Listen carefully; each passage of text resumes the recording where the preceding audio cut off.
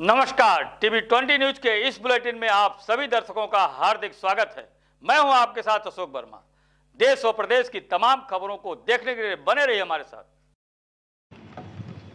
आजमगढ़ में जिला कांग्रेस कमेटी के प्रवक्ता ओंकार पांडे ने बताया है कि आजमगढ़ कांग्रेस विधि विभाग के चेयरमैन जगदम्बिका चतुर्वेदी ने उत्तर प्रदेश कांग्रेस विधि विभाग के चेयरमैन नितिन मिश्रा की संस्तुति पर 10 उपाध्यक्ष, नौ महासचिव, आठ सचिव सहित 27 पदाधिकारियों की नियुक्ति की है।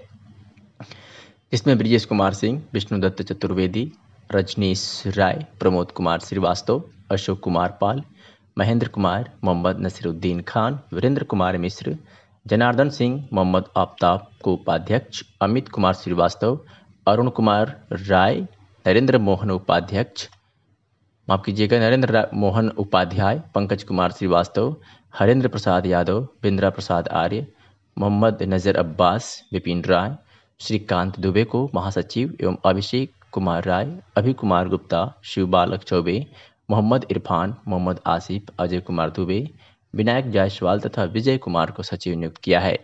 तहसील अध्यक्षों के नाम की शीघ्र घोषणा की जाएगी। जिला कांग्रेस कमेटी आजमगढ़ ने सभी नवनियुक्त पदाधिकारियों को हार्दिक बधाई एवं शुभकामनाएँ दी है।